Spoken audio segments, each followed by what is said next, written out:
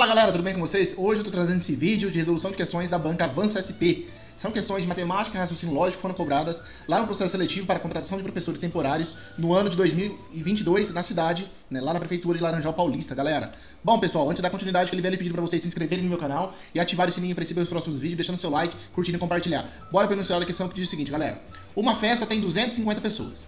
Se para, se para cada 20 homens há 30 mulheres, quantos homens e quantas mulheres há na festa? Então nós temos aqui, pessoal, uma regrinha de proporção. A cada 20 homens há 30 mulheres, tá ok? Então a razão é o seguinte, a cada dois homens há três mulheres, né? Como que a gente, qual que é o macetinho pra gente identificar? Lembrando que na prova existe um tempo estipulado, quanto mais rápido a gente conseguir fazer cada atividade, mais, rápido, mais sobra tempo para resolver as demais questões. Primeiro passo, pessoal, olha só, há 50% a mais de mulheres do que homens na filha de proporção, certo? 50%. Assim, é só a gente pegar a quantidade de homens das alternativas e multiplicar por 1,5, tá? E aí acharemos a quantidade de mulheres e de homens.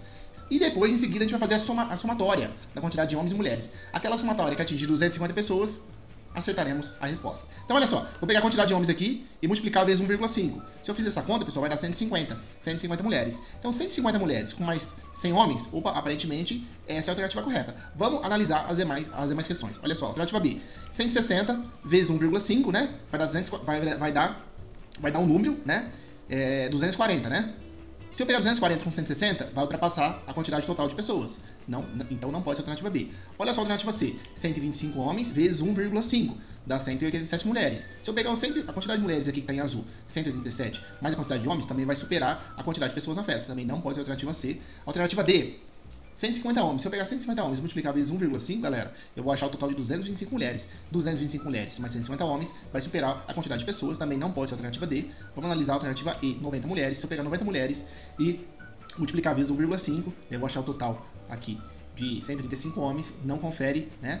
porque a quantidade fica inferior a 250 pessoas. Então a alternativa correta dessa atividade só pode ser a alternativa A, conforme o gabarito nos revela aí, pessoal. Espero que vocês tenham acertado essa questão de grau médio. Vamos para a segunda questão, que diz o seguinte. Uma mercadoria que custa 500 reais à vista foi adquirida a prazo, com duas parcelas mensais de 270 reais. A taxa de juros mensal cobrada nessa operação foi de A, 5%, B, 6%, C, 7%, D, 8% ou E, 9%. Galera, aqui tá pedindo a taxa total, tá ok? Então, olha só. Primeiro passo, qual é o valor dos juros? Tá? Então, lembrando que a mercadoria custa 500 reais, então vou pegar os 270 aqui, multiplico por 2, achei 540, que é o total do custo da mercadoria, né, do custo, o preço de venda mais os juros. Então, quanto é os juros, galera? Vou pegar os 540, eu tiro o valor da mercadoria e eu tenho o total de juros 40 reais, tá? Agora, olha só, pessoal, então 40 reais é o total de juros. Para a gente identificar qual é a porcentagem agora, lembrando que a alternativa quer saber a porcentagem, não o valor dos juros. O valor já tem 40 reais, tá? Então é o seguinte, pessoal, 1% de, de 500 reais, que era o, o preço da mercadoria, são 5 reais. Então, 40 reais significa quantos por cento?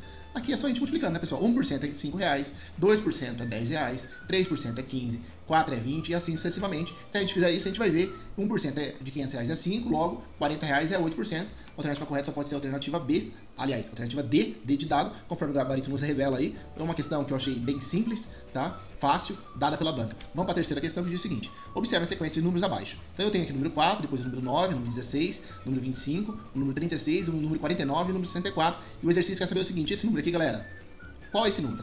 Olha, qual será o próximo número dessa sequência? A, 65, B, 68, C, 72, D, 79 ou E, 81. O primeiro passo que a gente tem que fazer para resolver essa questão, pessoal, é identificar qual é o critério que foi usado para fazer essa sequência. Então, olha só, vamos descobrir o padrão, tá? Então, olha só, aqui eu tenho o número 4 e ele passa para o número 9. Então, aqui, galera, ele foi, teve uma soma de 5, certo? Depois, do número 9, ele passou para o 16. Então, teve uma soma de 7. Do 16, ele passou por 25, teve uma soma de 9. Então, olha só, pessoal, 5, 7, 9. A sequência, o que, que eles estão fazendo? O padrão que nós descobrimos aí é somar o número anterior com o número ímpar e assim sucessivamente. Né? O número seguinte ímpar. Então, 4 mais 5 deu 9, o próximo número ímpar é o 7. 9 mais 7, 16. O próximo número ímpar é 9, 16 mais 9. Aí vem 25, 25 mais 11 dá 36. 36 mais 13 dá 49, 49 mais 15 dá 64, e 64 mais 17, que é o próximo número ímpar, vai dar 81, galera. 81, resposta correta, alternativa E. Tá ok, pessoal? Espero que vocês tenham acertado. Uma questão muito fácil, certo? Uma questão também dada pela banca. Vamos para a quarta última questão que diz o seguinte: Raquel deseja comprar 15 litros de uma bebida, 15 litros, tá? Então a questão está em litros aqui. Vendida na seguinte embalagem. Então nós temos aqui de 2 centímetros, 5 centímetros e 5 centímetros aqui de base, né? É uma, é uma, é, um, é uma embalagem aí. E aí a pergunta, ele quer saber o seguinte: quantas embalagens iguais a essa, né, no mínimo devem ser adquiridas? Então, pessoal, primeiro passo eu tenho que descobrir uma embalagem vem quantas qual é a quantidade de bebida que vem em uma embalagem só. E depois a gente faz a divisão e consegue identificar a alternativa correta. Então, olha só. Quanto cada caixa tem de bebida? Como que eu vou descobrir isso, pessoal? É só, você vai fazer a multiplicação. 18 vezes 5 vezes 5. Você vai multiplicar a altura, vezes a base aqui, vezes a largura. Dá 450 ml. Então, olha só. Cada caixinha dessa daqui, galera, tem 450 ml da bebida. Certo? Então, vamos dar sequência. E a gente também sabe, galera, que um litro, um litro, ele tem 1000 ml. Certo? Um litro, ele tem 1000 ml. Tá ok? Tá? Então, 15 litros, ele vai ter 15 mil ml. Porque aqui, pessoal, a unidade está em litros. O que, que eu peguei e fiz aqui? Eu converti de litros para ml. Se um litro tem 1000 ml, 15 mil litros, aliás, 15 litros eu tenho 15 mil ml.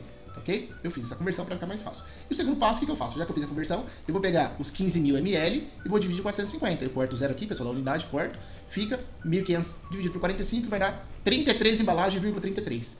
Então, 15 litros dessa bebida serão necessários 33 embalagens mais um terço de outra. Eu não tenho essa alternativa correta, mas eu tenho a alternativa C, né, galera? 34 embalagens. Quer dizer, as 34 embalagens vai suprir os 15 litros de bebida que eu quero e vai sobrar aí mais dois terços. Então a alternativa correta só pode ser a alternativa C. Espero que vocês tenham gostado dessas quatro atividades da Banca SP. E por conta disso, eu peço para vocês se inscreverem no meu canal, ativando o sininho para receber os próximos vídeos, deixando seu like, curtindo e compartilhando. Dá essa força aí pra gente, galera. Tô deixando também outro aqui, aqui outros vídeos a título de recomendação para vocês. Assistir uma playlist com vários outros vídeos de resolução de questões da Banca Avança SP, galera. Muito obrigado, até o próximo vídeo. Bye, bye.